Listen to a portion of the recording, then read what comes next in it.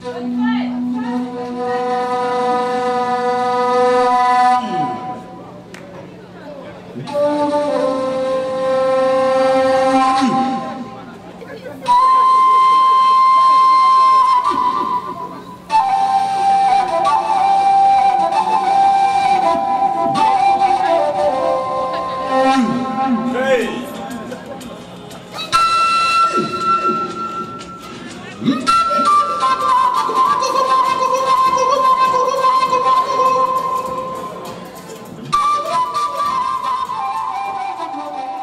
dans l'objectif de renforcer les liens entre les Burkinabés et d'améliorer l'image de notre communauté et de mettre en place des activités d'intérêt pour tous qu'un groupe composé de moi, Serge Bationo, Bourembi, il y a eu aussi d'abonnés Aziz et Thierry Sangaré.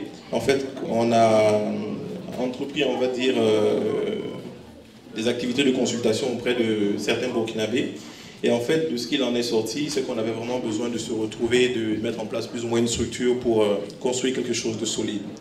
Donc c'est l'aboutissement de ce travail-là qui a donné plus ou moins cette rencontre, ce barbecue. Pour l'instant, la structure qu'on voudrait mettre en place ne dispose pas pour l'instant d'un organe qui va vraiment diriger les choses. Donc, euh, bon, nous, on a éventuellement écrit quelques statuts et puis on va bien sûr mettre ça à disposition de la communauté pour qu'en fait il y ait des amendements, des consultations, des conseils pour pouvoir améliorer la chose et puis impliquer tout le monde dans le processus de la création de cette structure-là. Et bon, on aimerait, si possible, organiser une AG pour mettre en place la structure le 29 juin 2013 à la Maison de l'Afrique, c'est-à-dire ici même. Et bon, ouvrir la plupart des postes, on va dire, aux élections. Merci et bon barbecue à tout le monde.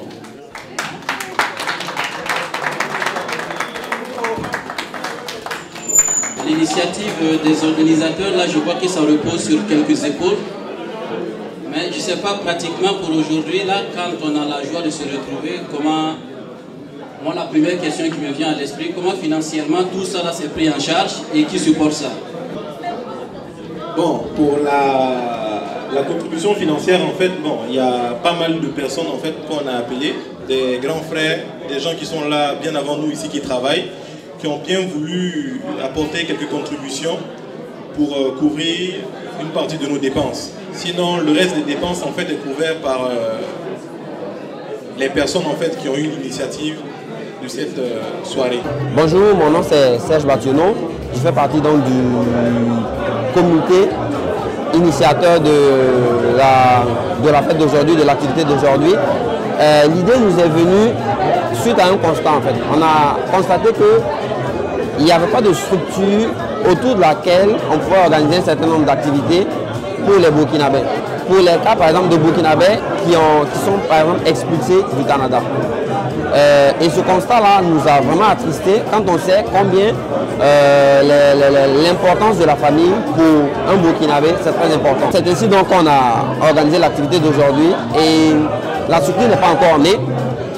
C'est juste euh, l'annonce de la création future et elle n'est pas encore née parce qu'on veut que tout le monde s'implique dans sa création.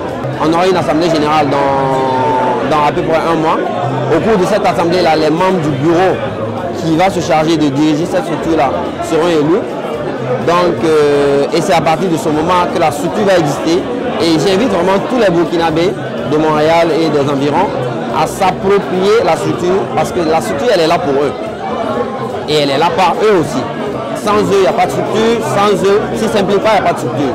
Moi, je m'appelle Adama Guébré. Je suis à Montréal ici depuis 2003.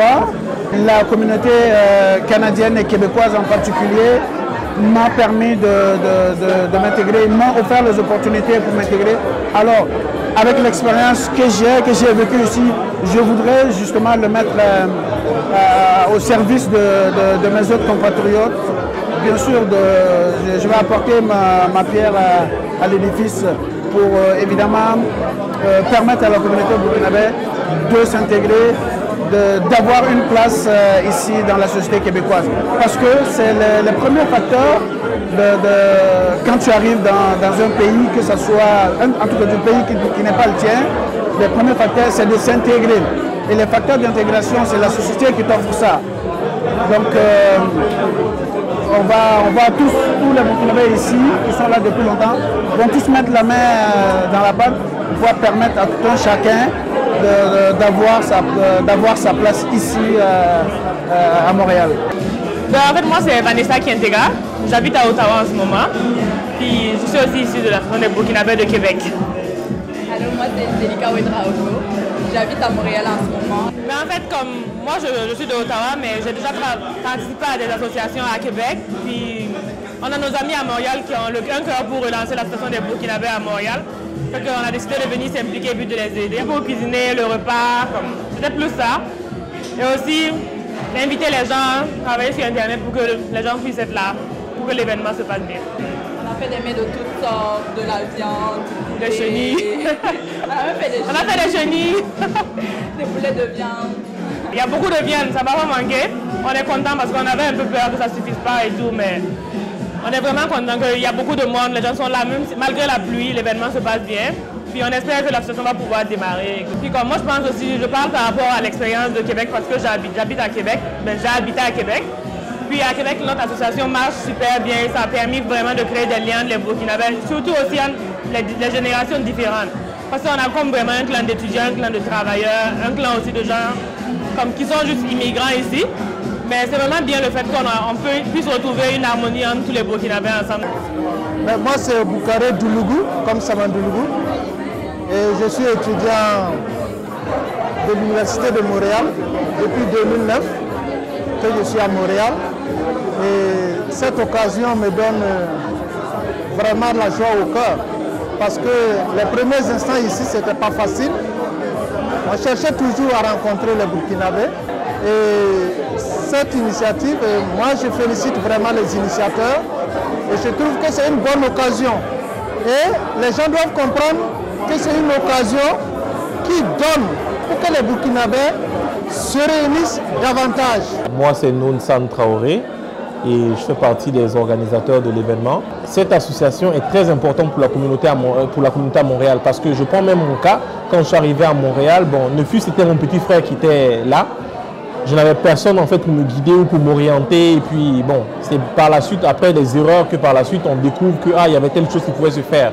Pour les nouveaux arrivants, par exemple, je pense qu'une telle association pourra les aider à s'intégrer plus facilement. Il y a des familles qui sont là et qui, dont les enfants sont burkinabés, nés de père et de mère burkinabés, mais ils vont être désorientés, ne même pas connaître les valeurs de chez eux. Et on pense qu'une telle association peut porter un tel message auprès de ces familles-là, auprès des populations même qui sont à Montréal. Pour nous, c'est très important de pouvoir porter notre pays et de pouvoir valoriser la culture de notre pays à travers, euh, on va dire, tout Montréal et ses environs, voire tout le Canada. Les Burkinabés de Montréal, on les estime environ à 2000, Montréal et environ. Aujourd'hui, on a peut-être réuni, réussi à rassembler peut-être 250 à 300 personnes, ce qui est déjà pas mal, mais c'est parce qu'on n'a pas réussi à contacter tout le monde. Et on espère que toutes les personnes qui sont venues aujourd'hui seront porteurs d'un message que oui, il y a une association qui va porter de nouveaux espoirs et ça va amener ces gens-là à, être plus enthousiastes envers cette association-là. Et on espère vivement qu'ils pourront s'impliquer au niveau de la nouvelle structure via l'AG qui va bientôt se dérouler, c'est-à-dire le 29 juin 2013. Sinon aujourd'hui, bah, on s'est retrouvés, il y a à manger, il y a à boire. Donc on espère que les gens viendront la prochaine fois en masse. Moi, je vis à Montréal depuis 2008, on va dire euh, juillet 2008, et je suis venu principalement pour des études. Et bon, j'ai fini mes études et puis là, je me suis intégré dans la vie professionnelle. Je suis présentement analyste d'affaires pour L'Oréal. Et puis bon, c'est un peu ça. Je suis Luc Keita, donc euh, je suis le délégué euh, des Burkinabés du Canada au Conseil supérieur des Burkinabés de l'étranger.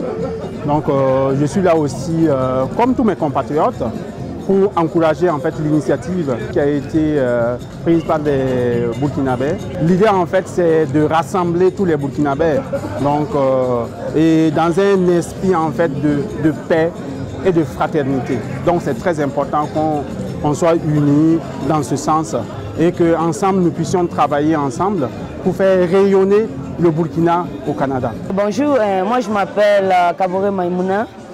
Euh, en fait, je suis ici pour des études et puis ben, j'encourage l'initiative des jeunes là. Je pense que c'est vraiment intéressant que nous, les Burkinabés, on se retrouve entre nous Parce que quand on vient d'arriver nouvellement, on ne sait pas sur qui s'appuyer. Et moi, je pense que s'il y a une structure en place qui, qui aide les jeunes, les nouveaux arrivants à s'intégrer, je pense que euh, ça, va être intéressant, quoi. ça va même faciliter l'intégration ici au Canada. À mon humble avis, je pense qu'on ne peut rien construire aujourd'hui sans les femmes.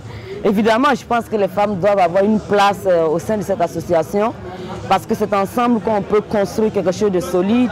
Et moi, j'aimerais bien qu'on insiste sur ce fait-là parce que les femmes, euh, les difficultés que vivent les femmes, euh, elles sont différentes de, de celles que les hommes ressentent. C'est plus difficile pour une femme, par exemple, d'avoir un boulot. Souvent, quand tu as un enfant, c'est encore plus difficile.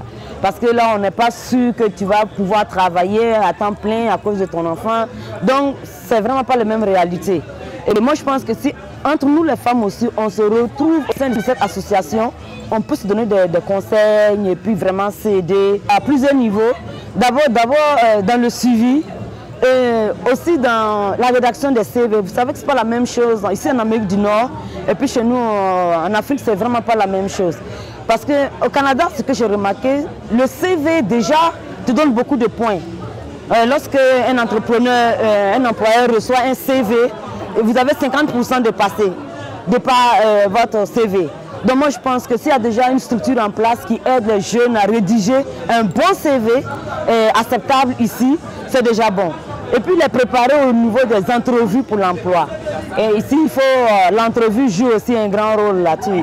Tu peux avoir tous les diplômes qu'il faut pour un travail donné. Et puis si euh, l'entrevue ça ne marche pas, là c'est sûr qu'on ne va pas vous prendre. Ici, le travail, c'est surtout aussi par le réseautage.